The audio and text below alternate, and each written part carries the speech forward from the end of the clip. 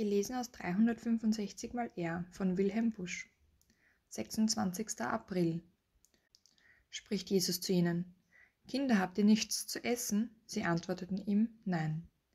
Johannes 21, Vers 5.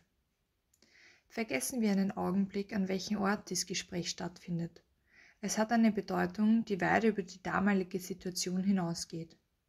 Mir ist, als stehe hier unser Herr vor der modernen Welt und frage sie, Habt ihr etwas, um euren Hunger zu stillen? Habt ihr zu essen? Und soweit diese Welt aufrichtig ist, wird sie antworten müssen, Herr, unser Magen ist satt geworden, aber unsere Herzen hungern. Ein riesiges Kulturprogramm steht den Menschen heute zur Verfügung. Und Zerstreuung und Vergnügung werden an allen Ecken angeboten. Sollten da nicht die Herzen satt werden? Aber dann sehe ich die verdrossenen Gesichter junger Menschen, ich sehe, wie sie leiden unter der Leere ihres Lebens.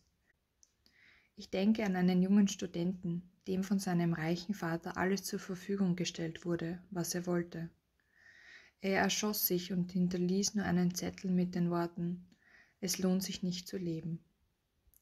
Und nun steht der auferstandene Herr Jesus, der Sohn Gottes, der für uns gelitten hat, an den Ufer dieser armen Welt.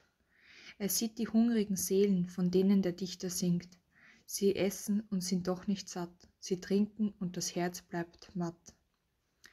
Diese Welt, fragt der Herr, habt ihr nichts zu essen?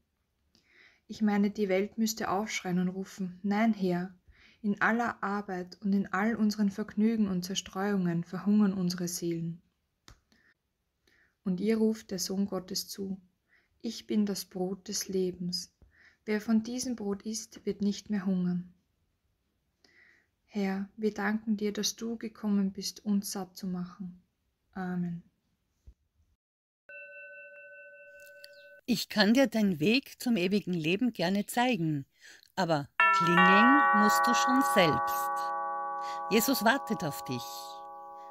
Sprich mit ihm im Gebet und lade Jesus in dein Leben ein. Du wirst sehen, er wird dir antworten. Herzlichen Dank für dein Abo, deinen Daumen hoch und deinen Kommentar. Teile gerne meine Videos, somit erfahren mehr Menschen von Gott.